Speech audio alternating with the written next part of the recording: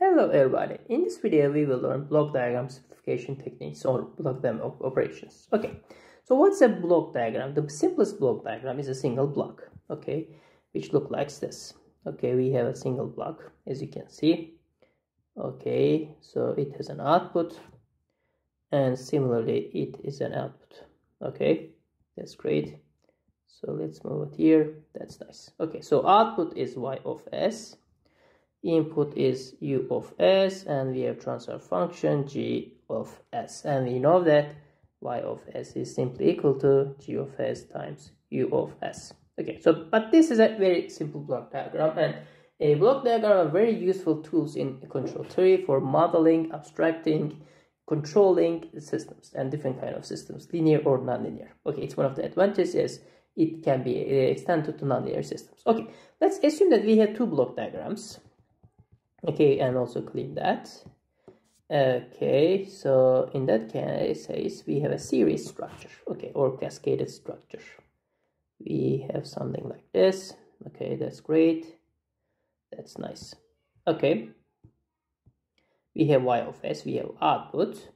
Let's call it this intermediate variable x of s and we have g1 and g2 we can address but i just wanted to simplify things a little bit. Okay so let's close this. G2 of s g1 of s. Okay so let's clean that.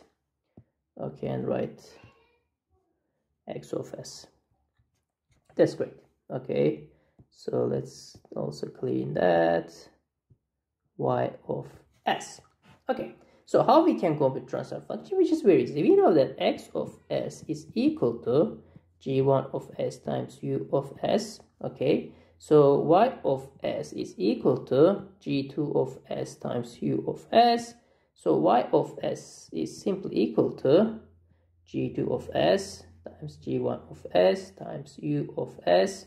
So my combined transfer function is simply equal to g2 of s times g1 of s. Okay so since s domain transfer function is scalar algebraic operation as you can see for single input, single output systems, and if they are linear, you can technically change the order of the systems, which is a pretty amazing uh, feature of linear time invariant systems. This is different. For example, if you have a filter, electrical filter, okay, if you have input, uh, and if you have mechanical systems, uh, for example, if you apply the filter first, then uh, apply to mechanical system, or if you apply your input to mechanical system, then it filter the output, they will give the same operation, which is pretty amazing. And this is uh, limited to linear time invariant systems, but of course they should be also single input, single output. Okay, good. So there is another uh, very important and simple block diagram structure is the parallel structure. Okay, let's do that. Let's draw it here.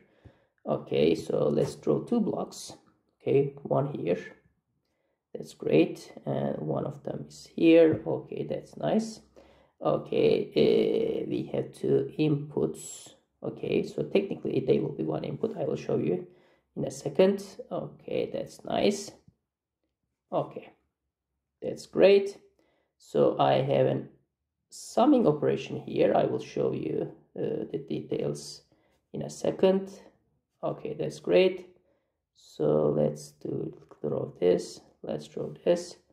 And let's draw that. Okay that's great. Let's close the geometric operation. So this is my input okay i distribute my input to two different uh, transfer functions but i don't divide it Even this is u of s this is u of s okay so let's call it g1 of s let's call it g2 of s okay this is a summing operation i simply sum the output of each a transfer function. Okay, so let's call it x1 of s, let's call it x2 of s, and its sum is my output. So I, this is called parallel uh, block diagram structure or additive block diagram structure. Okay, y of s is equal to x1 of s plus x2 of s. Okay, that's nice.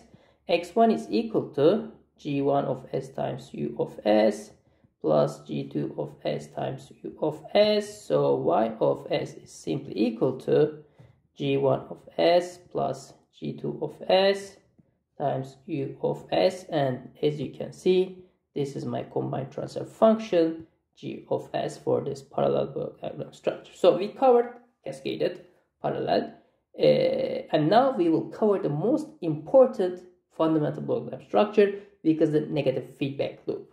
Okay, that's great. So let's draw the negative feedback loop first and then analyze it a little bit more. Okay, so these two block diagram structures, cascade and parallel, there is no feedback. These are feed-forward block diagram structures. There is no feedback from the output. Okay, so uh, in the feedback loop, uh, we have structure like this. Uh, we have two, it can be also one depending on the system. Okay, block diagrams. Okay, good. So uh, output of one of the block diagrams is uh, our original output. But we have a feedback in the sense that, okay, this is like this, this is okay going like this. So technically we have now feedback from the output which affects one of the transfer functions okay? So we have a summing op operation here or difference operation. I'll show this in a second. Okay that's nice. Okay so it is also coming to here. Okay let's look like this. It may not be very nice but it is okay. Okay so i don't like it so got it.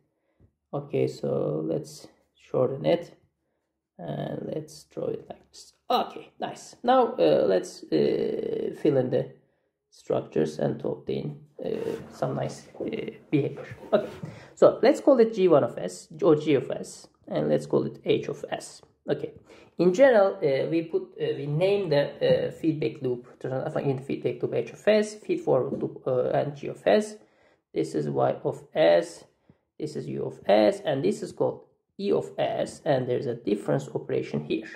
Okay, so this is fundamental, and the feedback, this negative feedback is critical for control systems. Okay, so positive feedback is bad in general, makes your system unstable.